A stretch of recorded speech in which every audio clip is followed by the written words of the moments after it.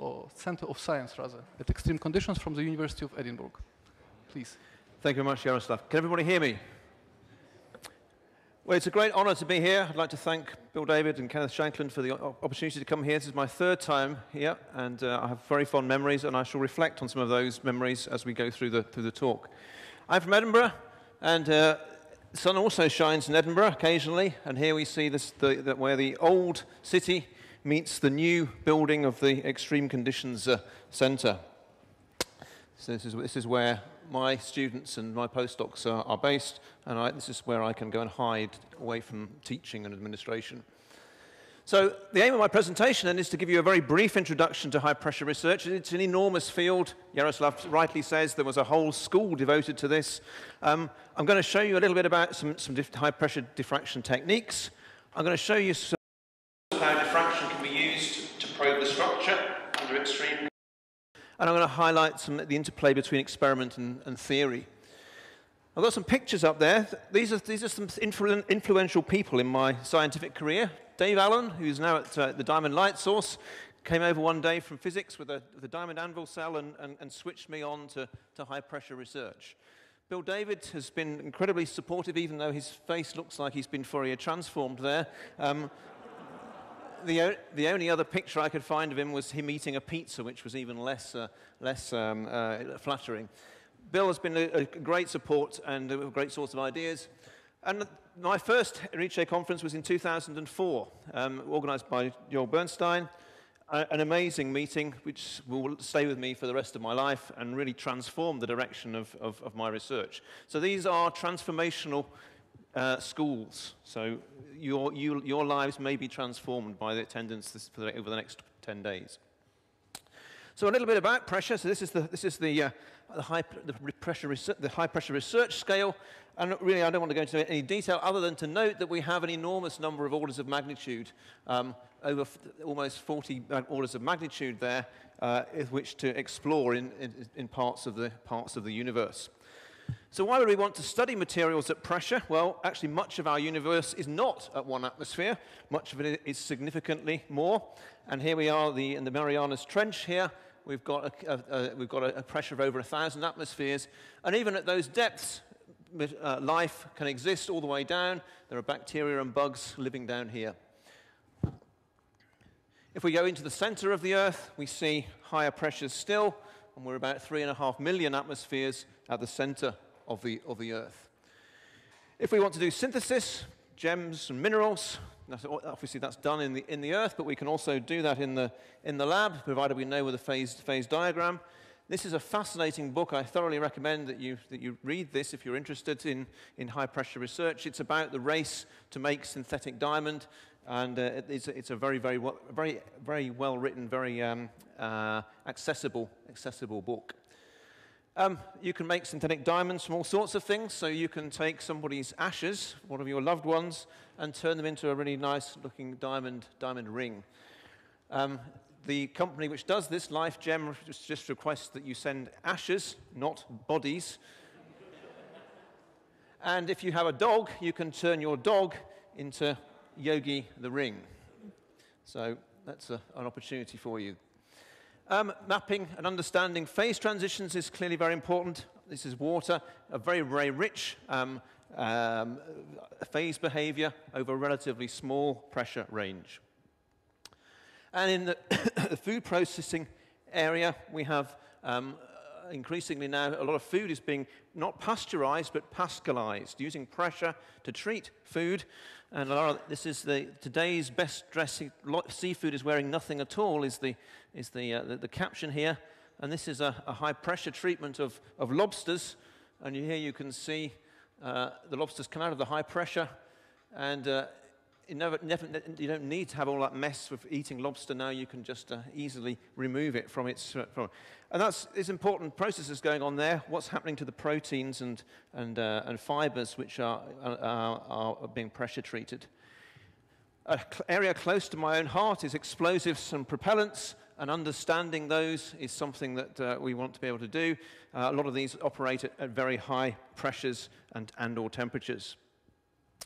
If you're a material scientist, you perhaps know about superconductors, and I think this is a fascinating uh, observation. So the, the, height, I think the record is 133K at, at, at one atmosphere for the critical temperature.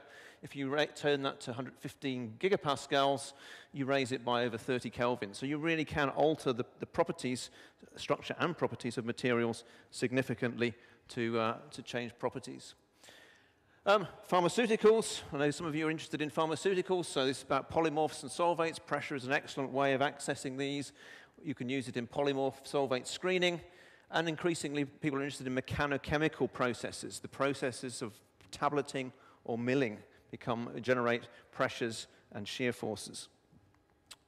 Um, I haven't got any pictures for this, but insight into intermolecular and interatomic interactions. If you're going to understand those, then pressure is a good way of testing those models.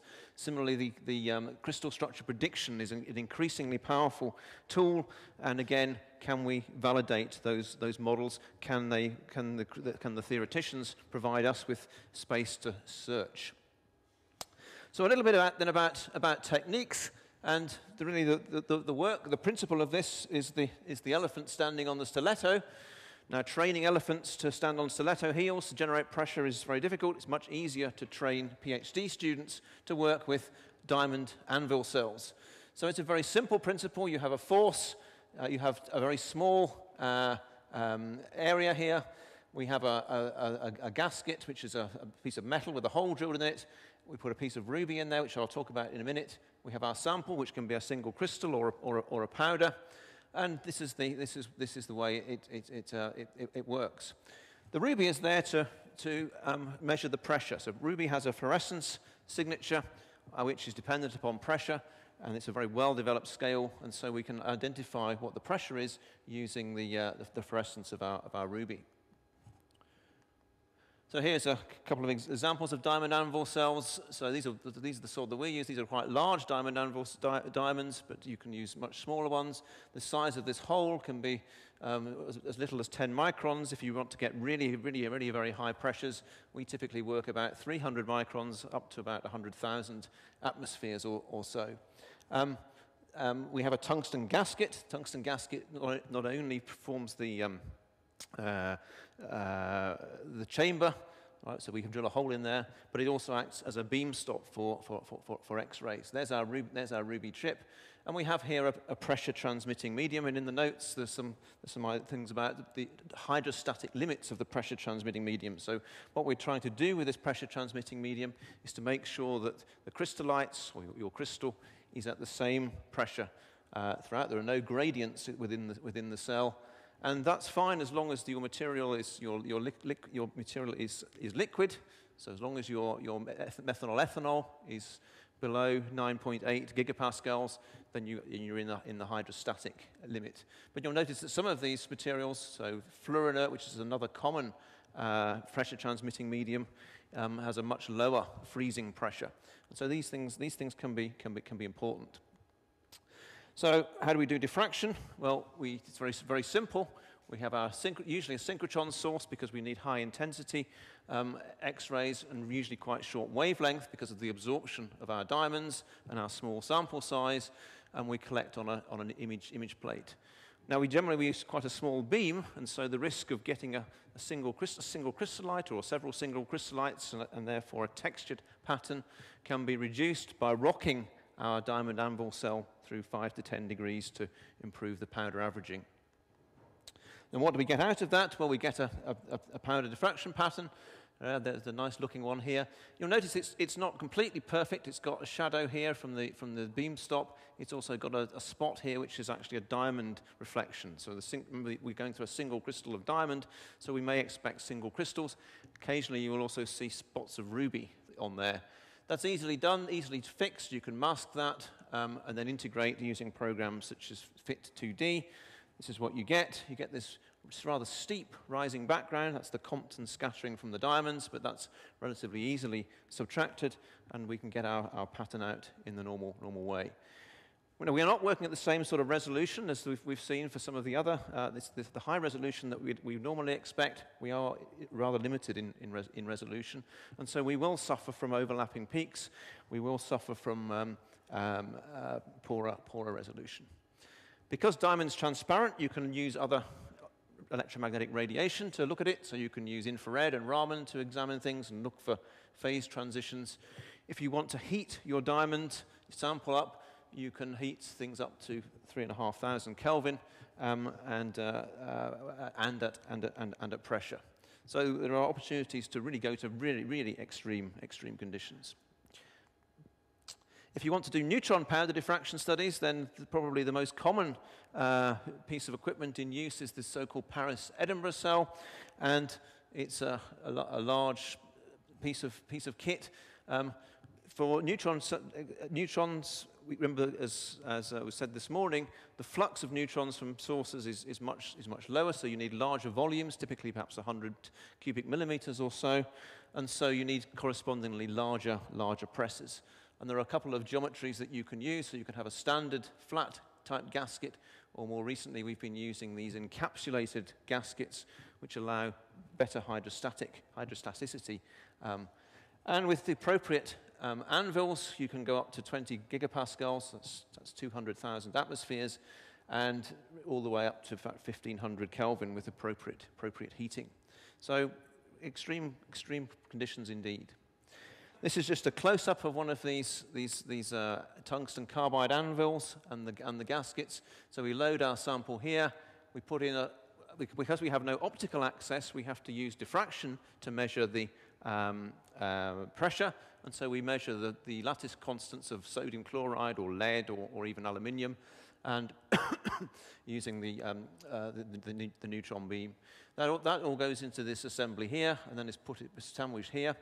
And our beam actually comes along in the plane of the board, and our scattered beam comes out towards you right? So we're only, we're only actually collecting at, at 90 degrees, which means immediately then we have rather limited um, uh, coverage, of, coverage of reciprocal space. So I want to now give you some, some examples to show what, what can be done with this. And I'm, my background is as a, a, chemist, and so there's inevitably a, sort of a chemical bias to these.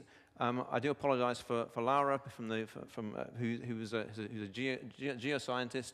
Um, I haven't got any geo, geochemical ex examples, but if you want a geochemical example, talk to, talk to, talk to Laura. So here we have a oxygen, which we all think of as a, a diatomic gas. But if you take it to, to high pressures, if you take it up to 11.4 gigapascals, what you get is a, is a, a system which is, contains the O8 unit. So there were two parallel publications came out of this. This was the Japanese group who, oops, who did it with, with powder diffraction um, and got the, obtained this O8, O8 structure. And it sort of in parallel with it within, a, within, I think, a, within, a, within a month, I think, uh, Malcolm McMahon and his, and his group uh, obtained a single crystal, um, which, which, which also showed that this was the O8 structure. And I think that's rather, rather neat because O, we always think of oxygen as being a, being a di diatomic, um, and to get an O8 unit and to get something which turns, changes color to form, to form red, I think is a, is a nice example, one of my favorites. Um, another example, very recent example, is a collaboration between um, my colleague, one of my colleagues in, at, at Edinburgh and the uh, ESRF. And really, this is a nice one because you take silicon and hydrogen and you load them into a diamond anvil cell and you apply pressure and a bit of time, and what you end up with is, is polymeric silicon hydride. So no heating. This is a simple reaction between silicon and hydrogen at this really rather large, large pressure. All right, all done by, by powder diffraction. You can identify the hydrogen in there. You can identify the, the, the new polymeric silane. And it all sort of fits together because there's, a, there's a nice, another parallel experiment where you can take silane molecules themselves, these are tetrahedral, molecular, take them up to high pressure, they dissociate, and they get, you get amorphization, and we can monitor, see that happening. So this is a, is a phase transition between here and here. Still got Bragg peaks. We're starting to lose the, the, the, the structure there. We have a amorphous phase there. That's mirrored in the Raman spectrum here, where we got, we've lost, sort of lost our signal. And then we get this new, new polymeric phase here, where we have bridging, bridging hydrogens. And again, a very nice, very nice looking, looking structure there. And that just completes the, the, the, the silane phase diagram there, so we can see it goes all the way up, up to these, this, this, this polymeric, uh, these polymeric phases. all right, another person who's influenced me is uh, Elena Boldyreva from Novosibirsk. She was a co-director of the, of the 2009 high pressure school, and um, she's had a long interest in, in high pressures and pharmaceuticals, small organic, small organic molecules. And so some of her early work then was, was to looking at the effects of, of this molecule. This is paracetamol or acetaminophen if you're from the United States. And what happens there is she, she's plotted the lattice, the lattice parameters of, uh, of, of A, B, C, and the, and the, and the beta angle, and, and, the, and the volume. And what's interesting here is that both A and B decrease, as you might expect. As you're applying pressure, you expect things to, to, to contract. But the, the C-axis actually starts to increase beyond about 3 gigapascals. And you, she explains this very neatly in terms of um, the changes in the hydrogen bonding and the changes in the layers structure of the, of the, of the paracetamol, paracetamol molecules. So it's just a, just, a, just a highlight that you don't always get um, um, a decrease of, of all of your lattice parameters. They can be highly anisotropic. This is a, this is a compound, a, a, a rather simple compound, dimethylurea chosen this not because it's, particularly it's not a particularly exciting molecule, but this, the, the, the, powder diffraction studies that we, that we conducted are actually show some interesting uh, uh, concepts that I want to, that I want to highlight. So this is, this is, the, this is a, a orthorhombic form, form 1, um, nothing particularly exciting about it. There was a, a form 2, which you can crystallize from phosphoric acid after six months. Right? And always be suspicious if, if somebody reports in a paper that it took six months and that you've got some odd-looking solvent. Right? Uh, we, were, we certainly weren't trying to use phosphoric acid as a solvent. We were trying to do some co-crystallization. So this is a, an accidental um, one-off and not, and not a reproducible result. Um, we found this form 2 in several batches from Sigma Aldrich, and we wrote to Sigma Aldrich and asked them whether they would tell us how they were processing this, how they were making this, and of course they, they declined to tell us. We did an extensive polymorph screen at ambient pressure to see whether we could, we could, we could see this form 2, um, and, we, and we really we, we, we couldn't. We, we never saw it again, all right? So Joel Bernstein has written a, a, a, very good article about disappearing polymorphs, um, and this is, this is potentially a, another example, example of it. So we decided to do powder diffraction. So this is starting with form 1. This is a, relatively simple, simple pattern. Notice that we're using quite short wavelengths, so the, the two theta values that you might be familiar with are all, everything's con contracted into much smaller um, uh, um, uh, region of 2 theta before we've got very much pressure at all, this is only about one and a half kilobar, we have a transformation, but it's a transformation to a new form, a new form 3. And that carries on all the way up, and there it goes, and, the, and, and, we, and then we come down in pressure. And it sits there for a little bit, but after about 36 hours, it, it comes back to, the, to, the, to, to, form, to form 1. All right, so we've seen a new form, but it's, it's not our form, our form 2. Now, this is where these image plate images are, are, are, great because they tell you about texture. Somebody mentioned texture this morning, all right? So this is our Form 3 recovered, and you can see nice complete rings, right? A really rather nice looking, looking powder there, um, good, powder, good powder averaging. 36 hours later, though, we get, we, it's clearly a different pattern. We know it's Form 1, but we have a textured, a very textured pattern. So, as an exercise for the audience, if you're under 35, I want, I'd like somebody to suggest to me what's happened here. Why have we got this textured pattern? Yes? Uh, preferred orientation upon recrystallization? Absolutely. So he's, he's, his preferred orientation, which is why it's spotty, and it's recrystallized somehow, and it's actually recrystallized from the, from the, from the solvent. Right, so from the, sorry, from the pressure transmitting medium. All right, so a, a message here, be careful of your pressure transmitting medium, right? This dimethylurea is very soluble in, in, in methanol, ethanol, and so what we end up with then is a, a solvent-mediated phase transition. So here's our form three. So it, it, starts, to, starts to dissolve, it's less, less stable, and then it precipitates out as the more stable phase two, and it forms little, little crystallites in this way. So you can learn a lot then from looking at, you, at, these, at these images. What else can we we do? So if we take a different um, pressure transmitting medium. This is fluorinert. Um, this is a, a fluorinated uh, hydrocarbon, perfluorinated hydrocarbon.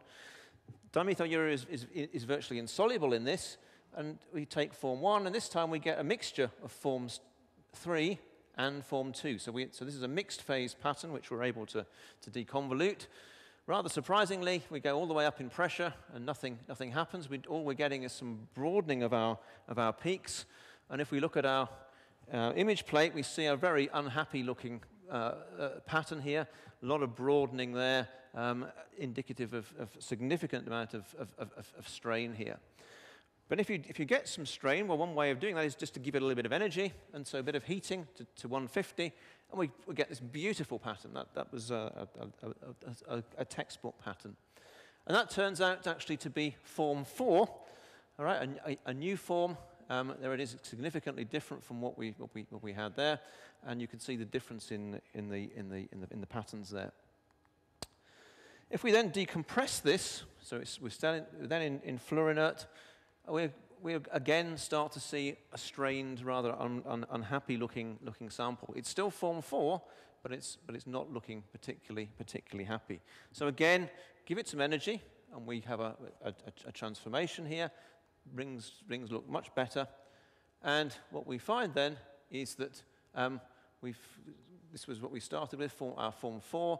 We've decompressed it, and then we've got form, form 5 after, after a little bit of, bit of heating, so a new, a new form. Um, and then over a period of time, it actually transforms to form 1, and we've still got some form, form 5 in there.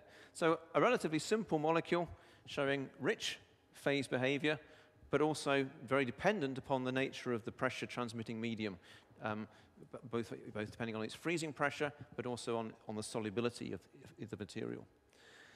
And then we collaborated with uh, Graham Day from the University of, of, Cambridge, who's a crystal structure prediction uh, uh, genius. And he, uh, he managed to identify, uh, predict Form 4, Form 3, and Form 2 all been identified. Form 1, rather interestingly, is sitting, sitting up here. And we, we haven't yet solved the structure of Form 5, so form, maybe Form 5 is lurking out, out here. And so when we see these sorts of plots of plotting lattice energy against, against density, quite often we find that these outliers out here are, are quite potentially um, high pressure forms. So this is a, a good, good signal to start going using high pressure techniques to see whether you can find these forms. Okay, I'm going to change gear now a little bit and, talk a little bit about one of my favorite areas, which is energetic materials. So energetic materials then are, are um, polite word, it's a polite word for, for explosives, propellants, gas generators, and pyrotechnics. And what these things generally do is if you give them some sort of initiation, a shock or a spark, they will give off lots of, lots of gas. And I, and I really delighted to be here to be actually to talk about this because in 2004, this man, Tom Brill, stood up and gave a talk about, in, about polymorphism in energetic materials. And that was a, an, an eye-opener to me and prompted me to go down this, this avenue of, of exploration. And um, it's, been, it's been very, very, very profitable and, and very satisfying. So acknowledge his, uh, his, his uh, inspiration there. What are they used for? Well, all sorts of things entertainment, signalling, mining, munitions, etc. I'll just show you some examples here. So here's the Edinburgh tattoo, military tattoo, where we have fireworks every night. It's the Scottish mountain. This is where if, the bad guys want to shoot you out of the sky, then you have to drop these flares to deflect the missiles. If you want to shield your, your, your vehicle, you can deploy smoke.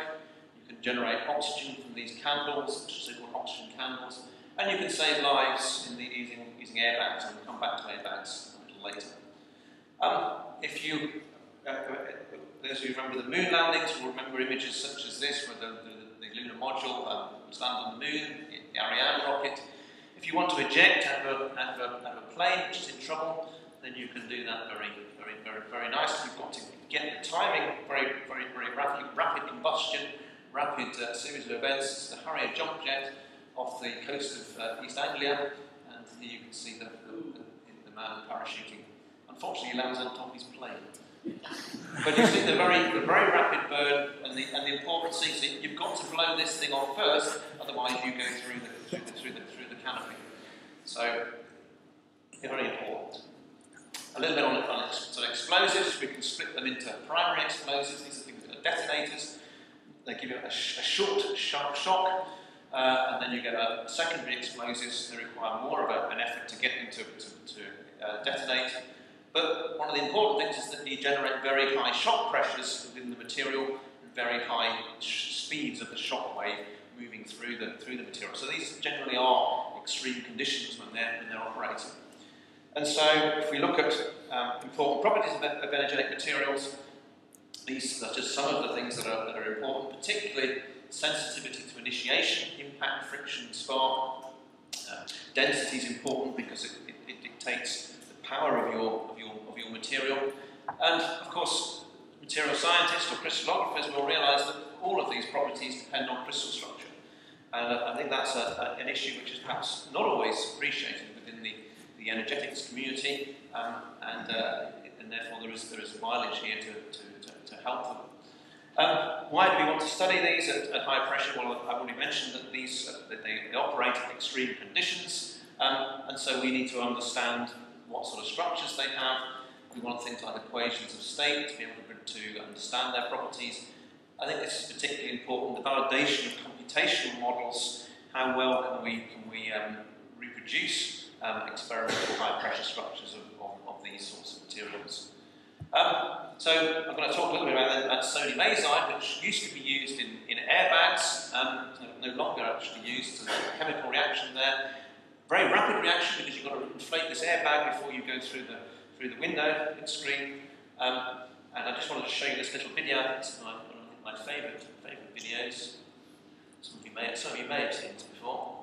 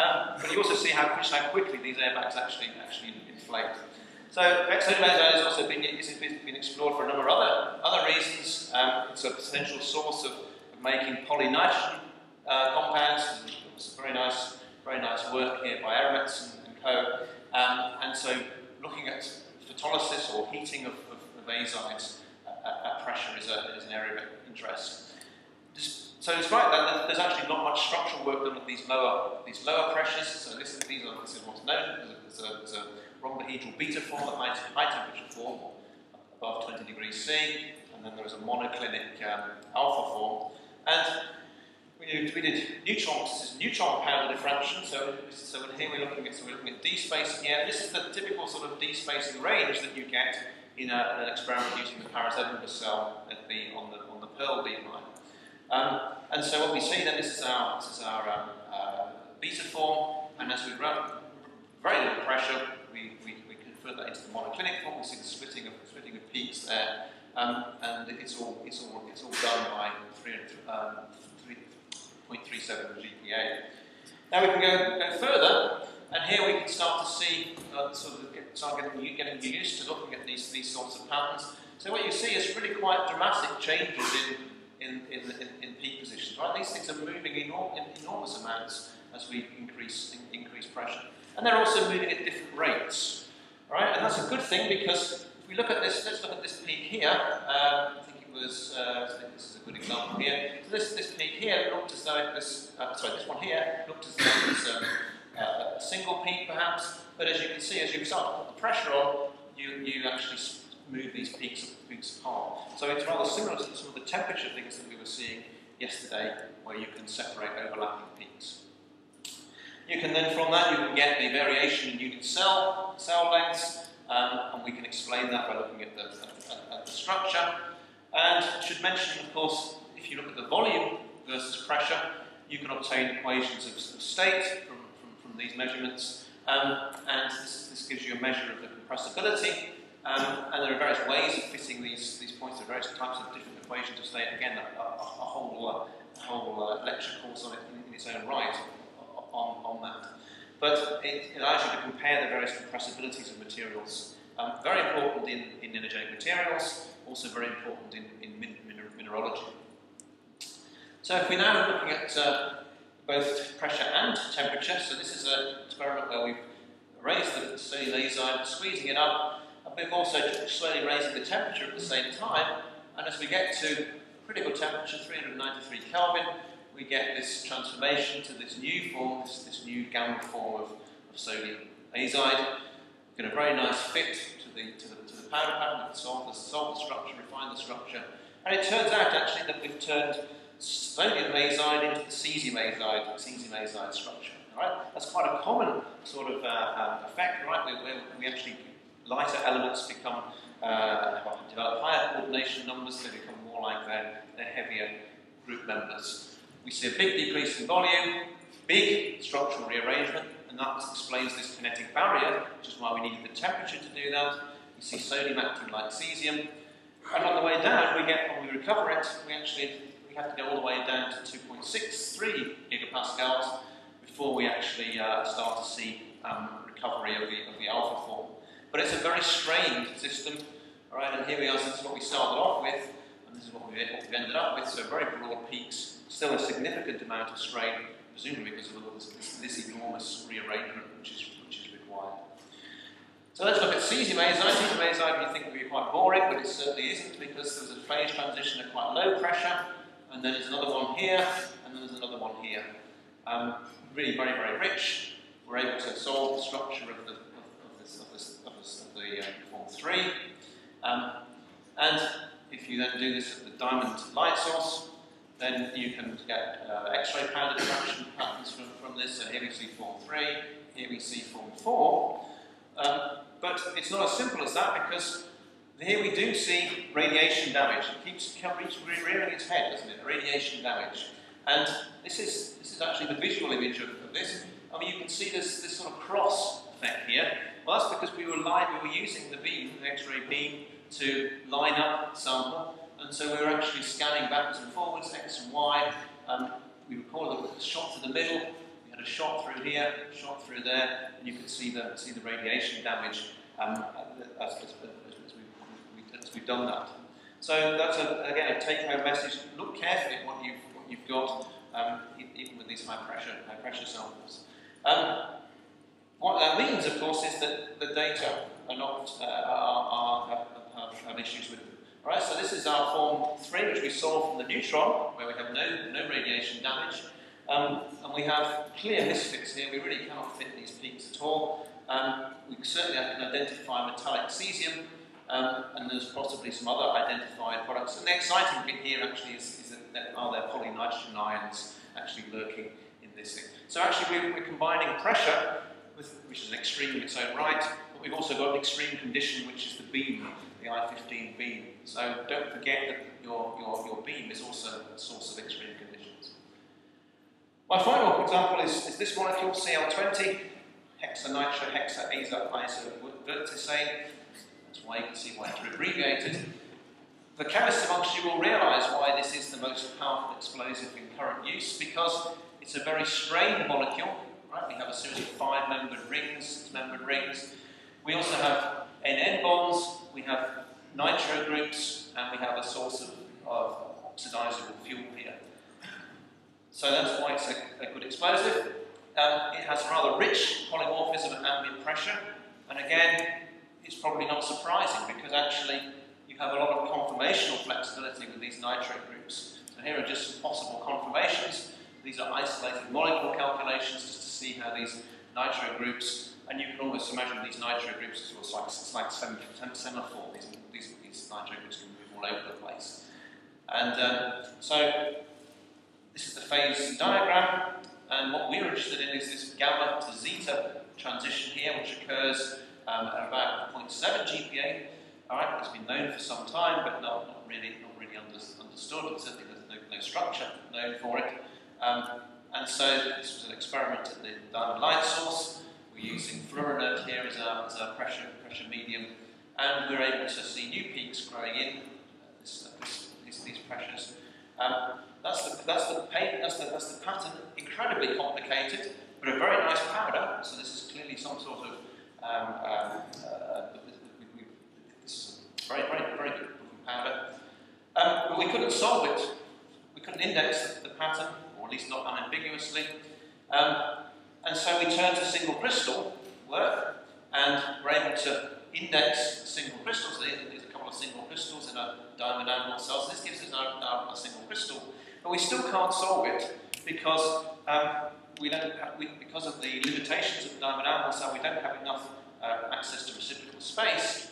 Um, and so we, we, we've got shading by the, by the diamond anvil cell, and the steel body of the diamond anvil cell, and so we can't solve the, the data using single crystal data alone.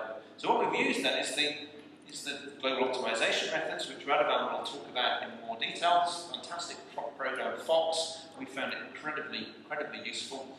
Where what we're able to do is to, is to we, we know the space group, we know the units, we know the unit cell dimensions, we know what the molecule looks like. It's got some conformational flexibility in there, which we can allow it to, to explore. And from, from this, we actually solved it from the, from the powder, powder diffraction data and then went back and refined the, the X-ray data as well. So it's, it's this, the message I want to get across is that you use, should be using a range of different uh, complementary techniques in order to, to, to, to, get the answer that you need. And there it is. This, this, this, is, this is the confirmation of the zeta form.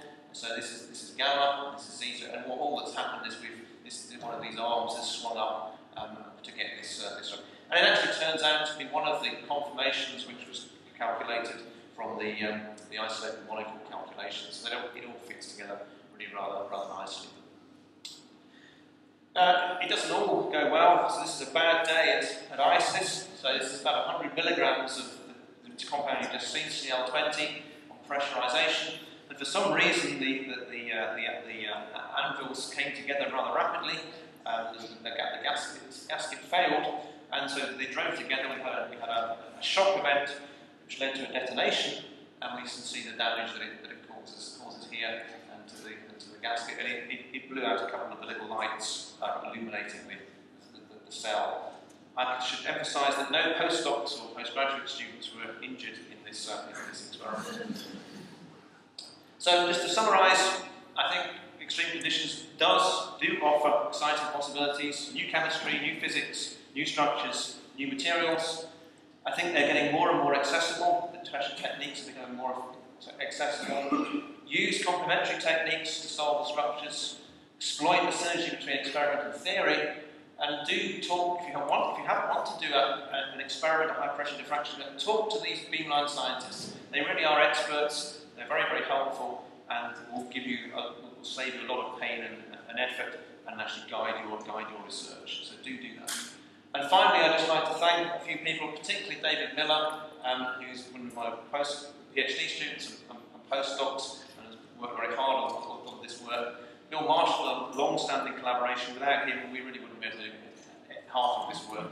He's been an absolute, uh, absolute star and, uh, and deserves the, the credit and recognition for it other, other members of the, the teams, both at, uh, at, at, Diamond and ISIS and, uh, and Backbone, and then these funding bodies for, for their funding. And I'd like finally to thank you all for your, for your attention. Thank you.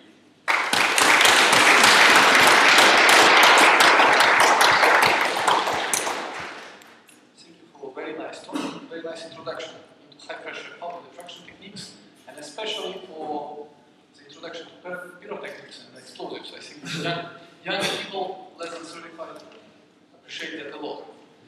Uh, so before I think I will open the, the, the discussion for and, and questions, I'll ask you a very practical uh, question. Uh, if people coming back after the origin school decide tomorrow to make high pressure experiments, what do they need and what should be the budget? And if they have, for example, an instrument already, I suppose you need a two-dimensional detect detector like uh, image plate. If they have an image plate, do they need a lot of materials actually to start up some, some, some decent experiments out of 15 GPa? So, so what I've shown you now most of the time there is, is using synchrotron sources. You can do pattern diffraction with lab-based equipment, and I think what perhaps is interesting is the use of rotating anodes. And I know Yaroslav, I think, is, is, is, is looking at uh, setting up something with a rotating anode and, and, a, and a, and a diamond anvil cell to, to, do, to do powder diffraction measurements. The, the, issue is resolution and also the, the length of, of, of, data, data collection. But for some of these simple, for rather simple systems, um, you would at least get an idea as to what you, what you were doing. So what you would need then would be some, some diamond anvil, diamond anvil cells, and you can either buy those commercially, there are various suppliers that, will supply those, or there are designs out there which good workshop facilities you can get to, you can, you can, you can get people to make for you. Um, if you make them yourself, I would say they're probably about um, 3,000 euros. If you buy them, they're probably more like 6,000 euros or, or so. Um, the, uh, if you already have an image plate set up, um, then uh, you can, you're, you're, you're, you're, well set up. You need, you need to be able to drill holes in your, in your, in your gaskets. So we use spark eroders to do that. Um, I think they are, they are getting cheaper, I believe. 5,000 euros, something like that. Um, uh, so there are, it, it, it is not cheap, but it's not incredibly expensive the, the efforts can be very, very useful.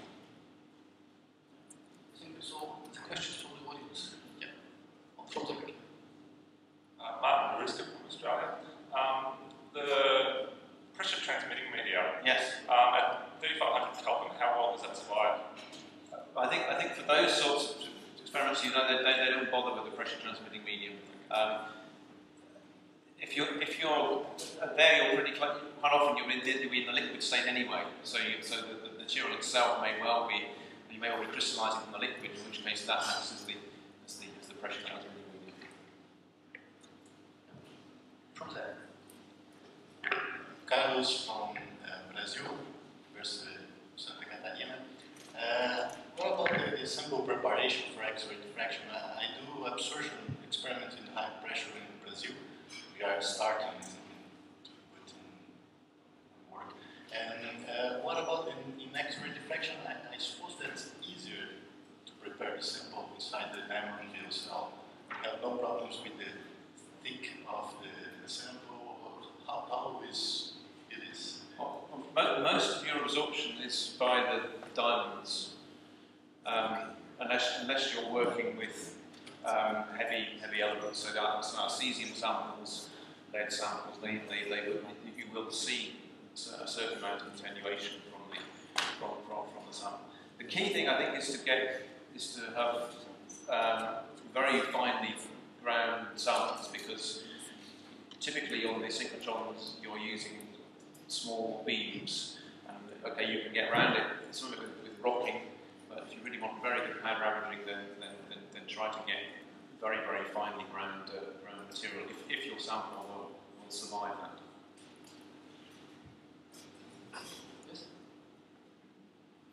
Joel Bernstein. Uh, first, first a question and maybe a comment. The form alpha and beta of, of the sodium nitride. Azo, yeah. Right? The, the, the patterns are very similar. They're different, but they're very similar. Do you have, you didn't show us the two crystal structures of those. I suspect there's a lot of similarity in the crystal structures yeah, well. they are, yes, they are, yes, they are related, yes. Uh, okay. And then a comment, if I may, Mr. Chairman, is that okay? I just think your, your, your little story about the cell exploding reminded me of, I don't know how many people are familiar with the name Walter McCrone, who was, of course, a hero to, to, to many of us in the polymorphism field.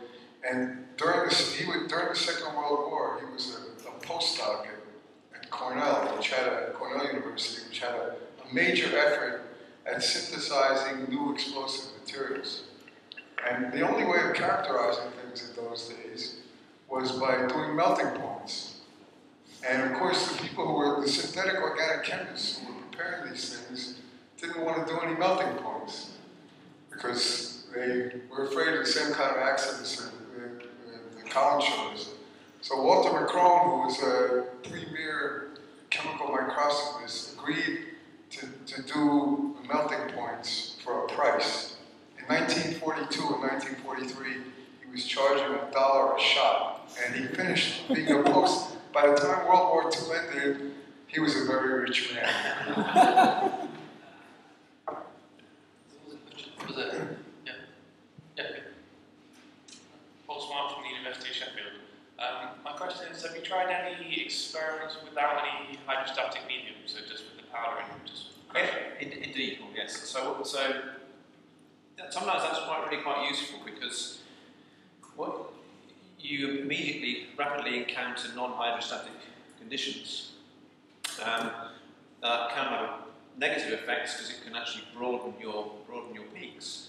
But actually, what you're what you're creating is, is pressure gradients, really quite substantial pressure gradients across that that that's that's uh, across the in, the chamber and that can actually help uh, phase transitions to, to, to, to, take place. And indeed, there are some phase transitions which will only take place um, if you have the, those non-hydrostatic conditions. A, a, very good example is ammonium nitrate. There is some spectroscopic evidence to show that ammonium nitrate, if you take it to 3 GPa, with, with no gasket no pressure transmitting medium, just, right, just put it between two diamonds, you will get a, you can get a new, a new phase. Now we've never dared to do that simply because if you have these two diamonds grinding against each other, you're almost guaranteed to, to break, break one or both of them and a, and a thousand euros each. That's, uh, that's, an expensive experiment. But, but it, it is certainly uh, um, something of, of, of, of interest. I can confirm that many ionic actually, they may serve themselves pressure transmitting medium. So if you are interested in compressing them, uh, they work pretty well, even better than with the solvent. And they are quite often, there are some compounds which are pretty reactive, like metal hydrides, for example. We altered them without pressure transmitting medium. I, sh I should have added at the start of the talk that I'm, I'm probably not the best person to give this. Yaroslav really should have been giving this, uh, this talk on, on high pressure and the diffractions, since he's a, he really is a true expert. uh, so the last question from, from there. Uh, thank you for your lecture. My name is Qing Jing from Peking University, and I have a very simple question for you. Um, usually, we use rhenium and uh, steels as the gasket, and why do you use TiZr as the gasket?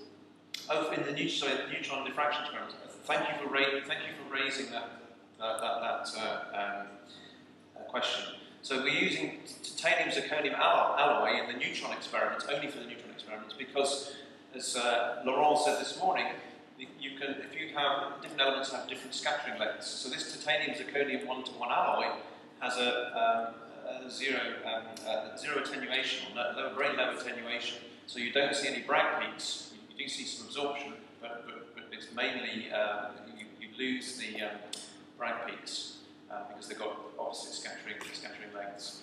Um, for the X for the X-ray experiments, we, we simply we use tungsten because it's probably I think cheaper than rhenium or, or platinum, and unless unless we are going to be working with very uh, corrosive materials or very high temperatures, then, uh, then uh, tungsten works works very well.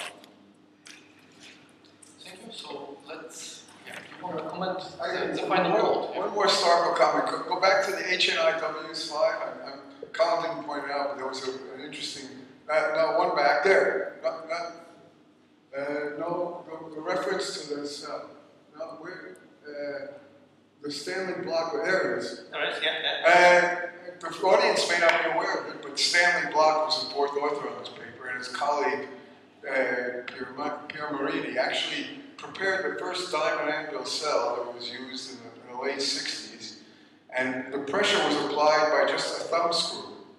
And I actually was, was uh, had, the, had the good luck and fortune to hear them describe making the monoclinic form of benzene in that cell, which was published in Science in 1969.